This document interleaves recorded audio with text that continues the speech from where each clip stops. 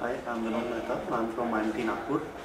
And uh, this conference, this workshop in which we have come, I have attended both the workshops. And uh, one was on uh, understanding consumers in digital era, and another one was in teaching marketing research. Both the subjects I'm teaching in my institution. And the thing is, both workshops were very useful. I'll I have plenty to share with my students after attending this workshop, and uh, I'll keep attending if workshops of this kind will keep happening, and uh, maybe advanced uh, version of these uh, workshops will be very beneficial in future. I'll. Thank you. Thank you, sir. Okay.